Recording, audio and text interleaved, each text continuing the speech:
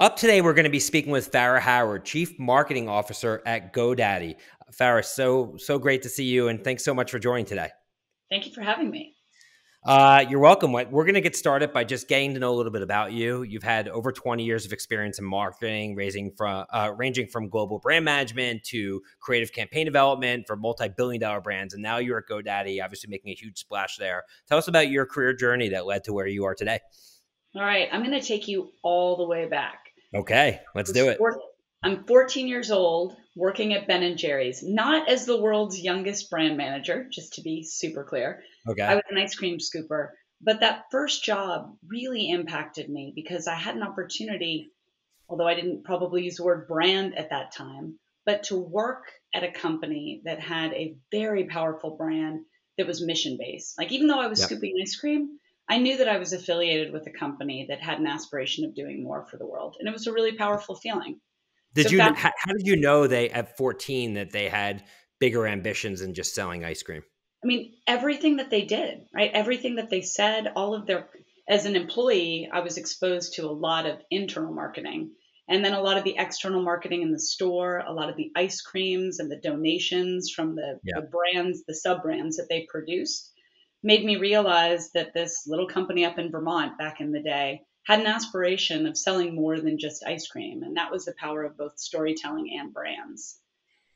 And so when I reflect back on that, in addition to probably eating far more calories in a given day than any human should ingest at 14 years old, I was exposed to the power of brands. And so you fast forward then greater than 10 years post.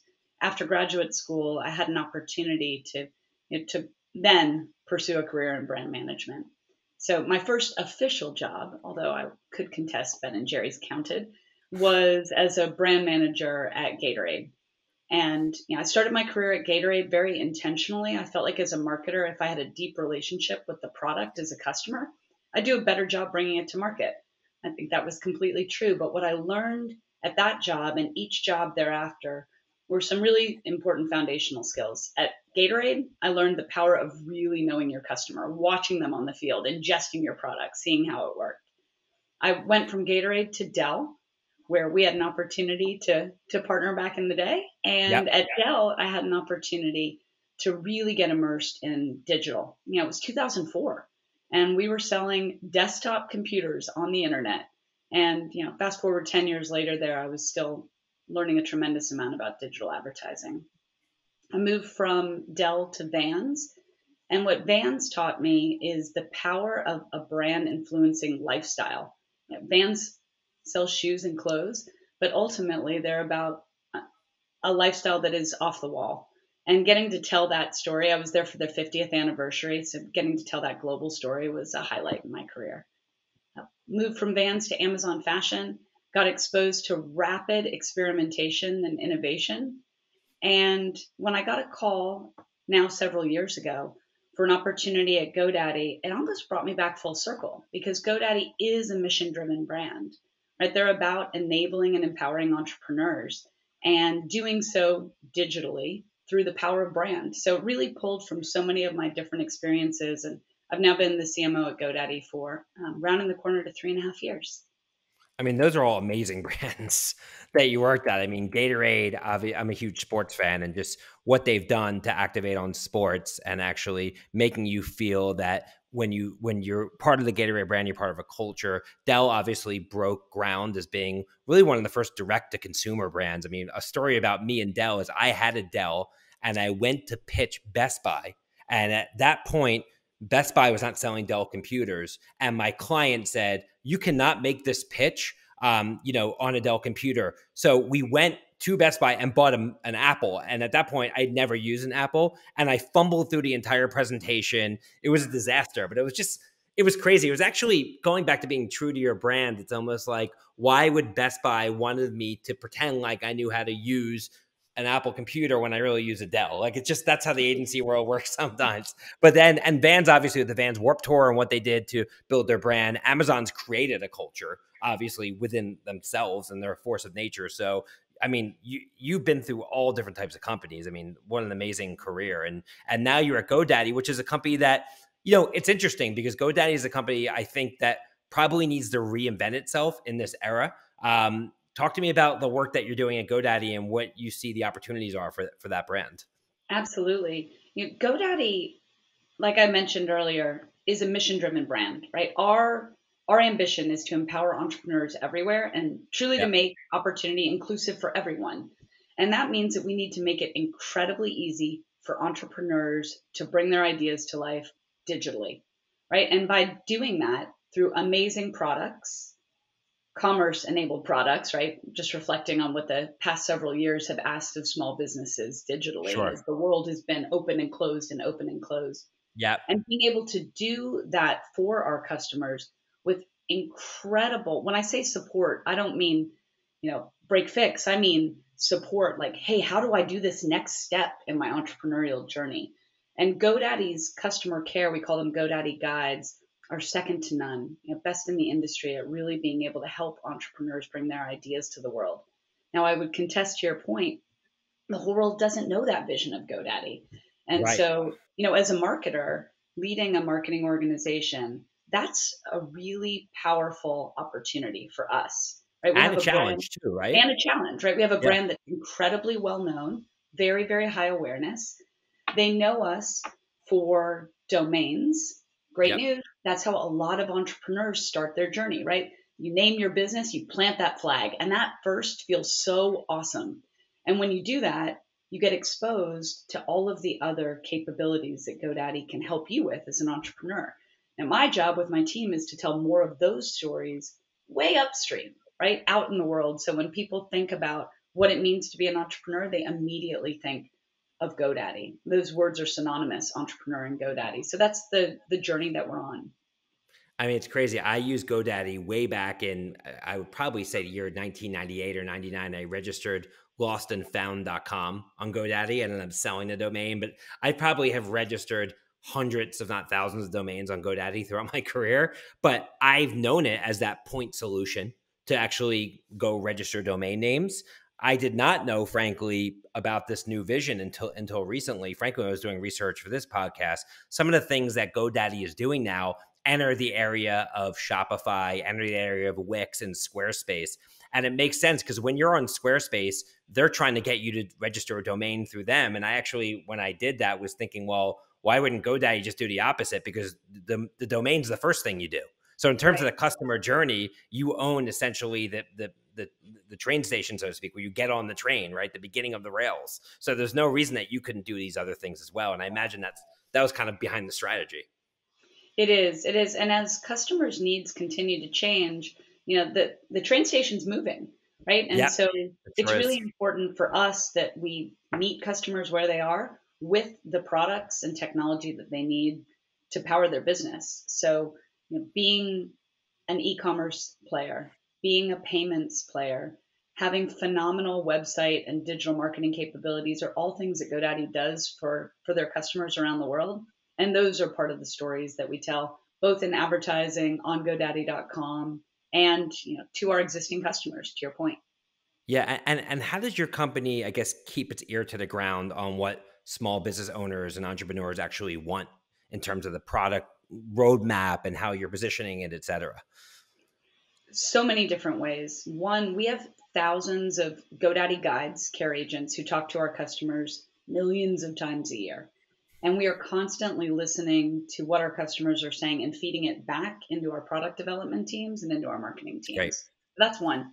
Two, we do a huge amount of research, right? If I harken all the way back to my Gatorade days, you know how I learned about Gatorade? Watching athletes drink it on the field, seeing how yep. much they drank, what flavor they grabbed when they were thirsty. We use that same analogy, right? You've got to be talking to your customers all the time, understanding what's working for them, what's not working, and build them products accordingly. And you know, those two factors, listening and watching, ensures that you're able to serve them in different ways and serve them in better ways. Yep.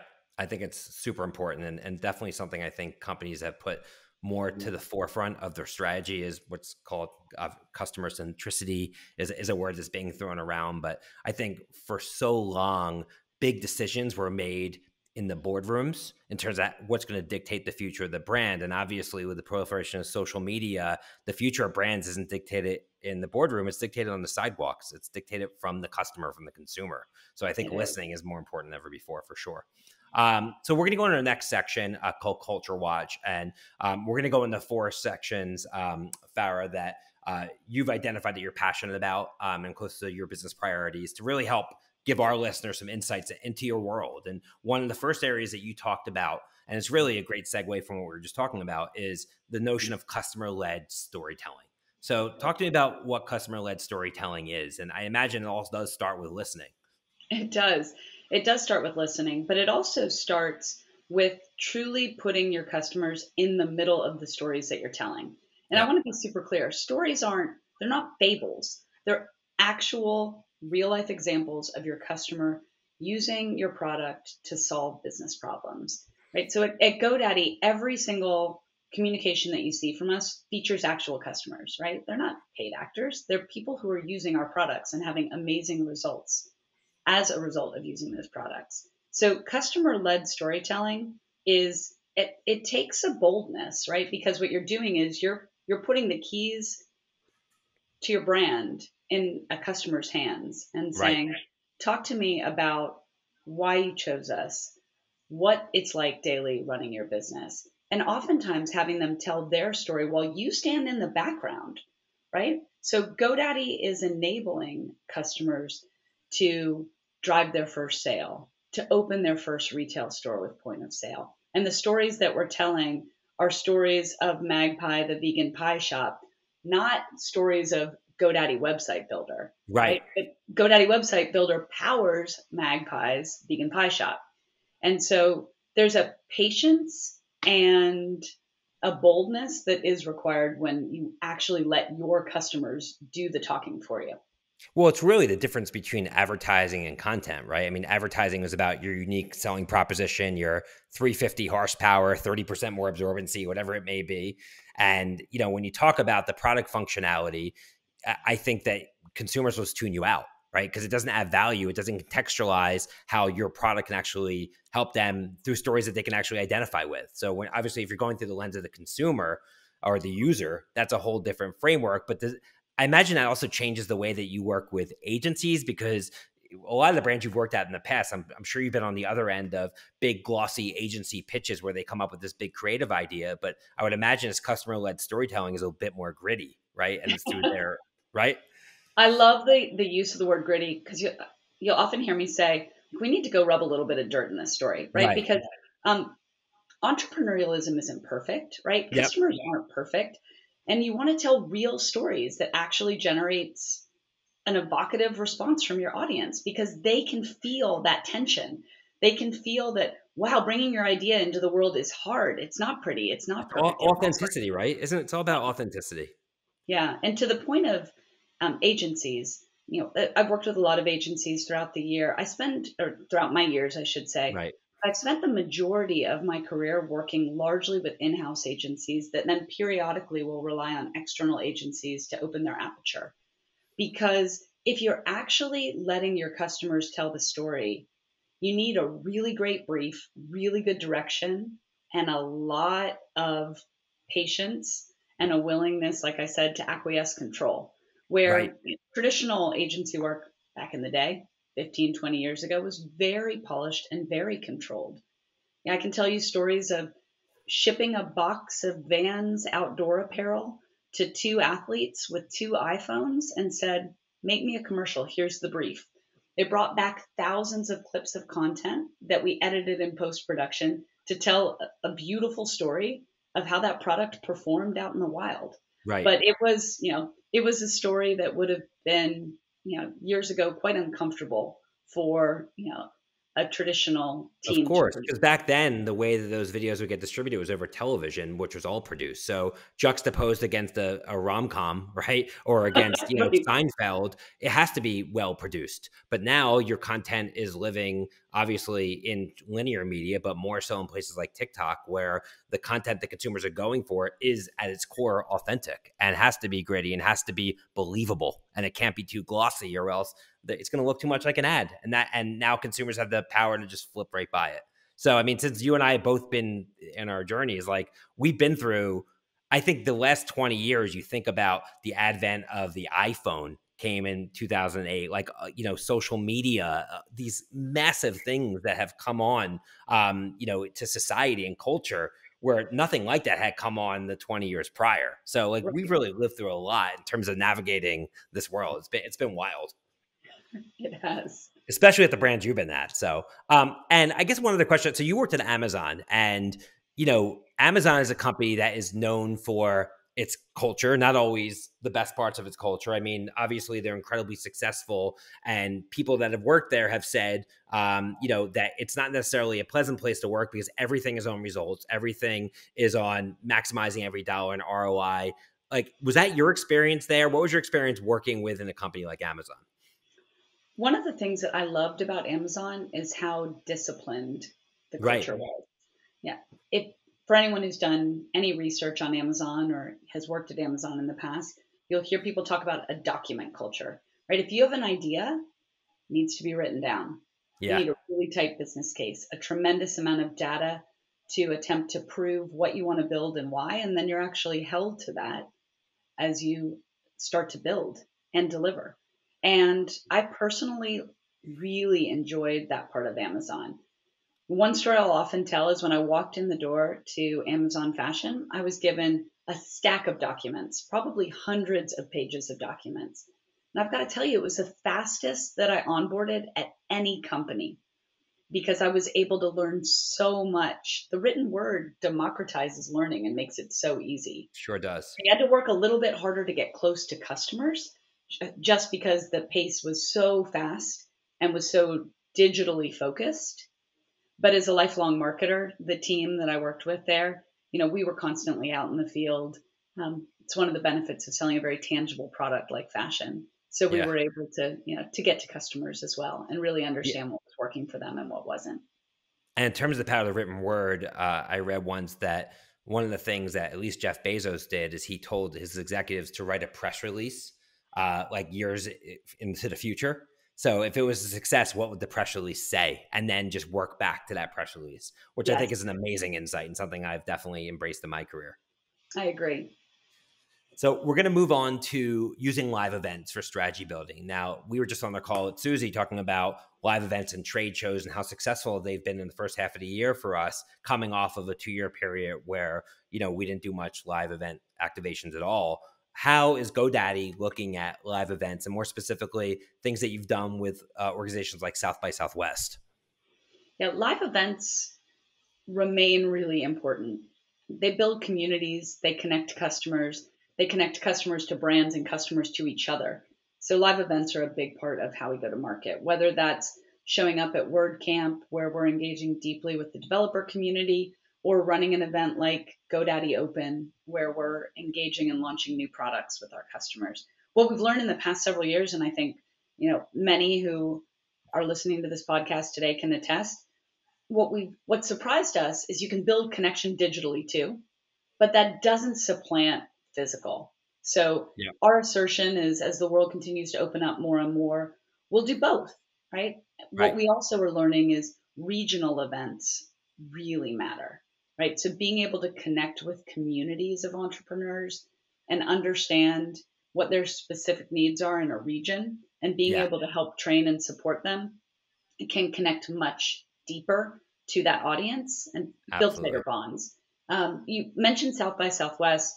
Um, as a fellow Austinite, you know, where I've spent nearly 12 years of my life prior, South by Southwest is such an amazing celebration of creativity and and sometimes a brands if they're telling stories in really creative ways. So our involvement at South by Southwest was an opportunity to really celebrate our customers. So um, we participated this past year and we're lucky enough to have a documentary of one of our customers um, show up at South by Southwest, and you know we were just thrilled with the results. I love that idea. Very cool. And of course, being an entrepreneur is all about experimentation, and I would imagine at GoDaddy, as well as some other places you've been in your career, you've had experiments. Sometimes they work, sometimes they don't. Um, it sounds like GoDaddy is going through a period of rapid transformation now. Um, what is what do you see as kind of a like the good part of experimentation that should be embraced in an organization? Um, and how has that driven some of your recent work at, at GoDaddy? Yeah, I, it may sound trite, but experimentation teaches you how to lose.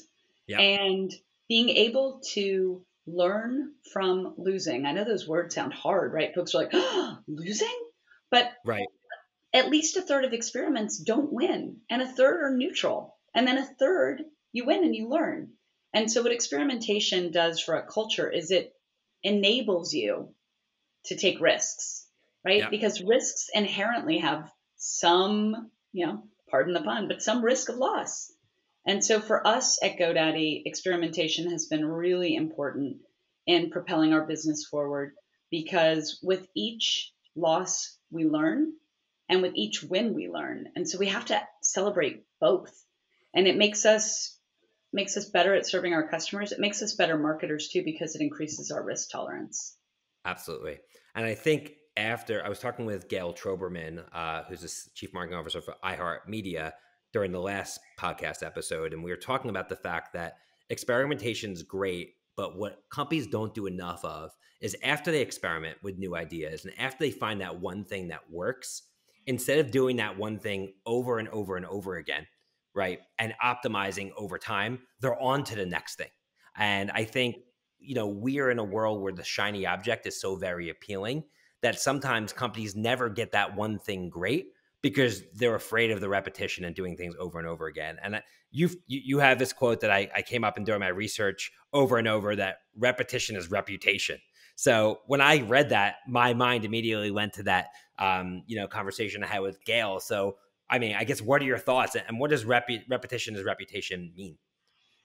Yeah, I, I feel really strongly that brands are built through consistency over time, yep. right? And I'll often say a brand is not that different than a person that you have a close relationship with. Yep. Right? Like you know this brand, you know what you can depend on them for. You may know what they're going to say and how they're going right. to act and how it's Sometimes people feel. say things and you're like, that was off brand for you to say. You even use that phraseology when you talk about people. Right, right. And so being able to build on a foundation of trust and consistency comes from repetition. And with that rep- repetition, you build a reputation. Now, that doesn't mean you sit completely still and you're stagnant. And actually, if we tie it back to experimentation and you really evaluate the scientific method, which is changing one variable slowly at a time to figure out what drove change, you can right. maintain a really strong foundation of a brand. But you need patience, right? You need patience right. to do that. You do. Because it, it, could be a couple basis points at a time but over time, you keep doing that. And down the customer journey, you're optimizing. And next thing you know, you're 30% better, but it's not going to happen overnight. Exactly. And in fact, you made that change in a way where you brought your customer along with you. So you're still recognizable despite right. the fact that you've made changes, right? We can think of so many examples in our life from a user experience standpoint where a product that you just knew how to use so well, you open up the application the next day, it feels totally different. Yeah. That's an off brand experience too. So small changes can make a big impact and enable you to be to be repetitious in a way that actually bolsters your brand. And it's something we all have to remind ourselves of as marketers because we're so anxious to tell that next story. But I promise you, we fatigue of the stories that are in market long before our customers had even heard them. 100%. So we have to remember to continue to repeat so that you are known. Yep. Totally aligned there. So, lastly, I mean, it seems like everyone's calling themselves an entrepreneur right now, and you know, we'll see how that plays out into the future in this uncertain economic environment, right? But uh, you know, the identity of being an entrepreneur, like, how do you define that, and what does it mean to your audience? I mean, do you think not anybody can be an entrepreneur, and is GoDaddy's that uh, you know definition of an entrepreneur just anybody who wants to do a side hustle, or are you really, I guess, zoning in on people who really have as the focus, core focus of their career? It's a great question and a hard one to answer. So I'm going to pull it all the way back to the origin for every entrepreneur, right? Every entrepreneur was a solopreneur once, right? Yeah. Every every business started small. And so GoDaddy has the ability to support the solopreneur, the person with an amazing idea, like literally standing on their own, to a small business that's selling over a million dollars of cheesecakes a year. Like right. they all started from that same place. If we hearken back to, we were talking about South by Southwest earlier, like Sherilyn Yazzie, who runs coffee pot farms. She's an entrepreneur. She is a farmer affiliated with Navajo Nation trying to help feed a broad population, right? That's an entrepreneurial concept that oftentimes people may say, well, is that a business? Yes, of course it's a business. It's right. a very different business than you know the furlough sisters who are selling cheesecakes, but right. but the same principles apply. Same principles, right? Same principles. Yeah. They have an idea, they have gumption and ambition, and they need tools to bring their idea into the world. And that's what that's who GoDaddy serves, and that's what wakes us up every day excited about what we're doing tomorrow. Awesome. Well, it's definitely an exciting time. It sounds like to be at GoDaddy just because I, you know, I think the timing is right. I think the pandemic obviously accelerated a lot of these digital transformation trends, and it's it's made a lot of people think about their futures, and you know, and it's been quite empowering for a lot of people in terms of you know taking their future into their own hands. And it sounds like that's sort of the platform that you're trying to create. Again, moving from that point solution of domain registry to being a true platform, um, you know, for the entrepreneur, which I, I think is very exciting. So it's very cool. Um, so as a closing question, you know, we obviously covered a lot of ground and obviously I just from hearing you, you obviously move so fast and you're thinking about a lot of data and, and optimizing, et cetera. But from a personal basis, what slows you down in this fast paced world? What, what, do you do for any type of peace and relaxation? I'll answer you succinctly and then I'll tell you how. My okay. family slows me down. I yeah. in a great way. I have three boys. They're nearly ages 11, 12, and 13. And wow. my husband and I spend a tremendous amount of time with them. And in terms of slowing down, right, it's hard to slow down, uh, particularly now, right? Our home lives and our work lives are intrinsically merged together in ways we would have never imagined I know. three years ago and or two and a half years ago. And one of the principles that I use to slow down is called toggling, right? Like literally, like when we toggle at work, we toggle between applications and you can only work on Word and then you can only work on Excel. And that simple premise of only doing one thing at a time really helps me slow down. Like when I walk away at the end of the day to go shoot hoops very poorly because I'm five foot three with my son, who's a phenomenal basketball player, I am only doing that. And, you know, at the end of the day, when I'm reading my 10 year old a story at night, because that's what he's wanted since he was a tiny, tiny kid, I don't have my phone in my pocket yelling at me. Right? I'm wholly present for them. And I am going slower, but I'm actually getting more done because I'm only doing one thing at a time. And yeah. it truly it it makes me whole. It helps me at work, it helps me in life. And man, over the past several wild years that we've been on, um, it's helped me find some semblance of balance amidst all the crazy.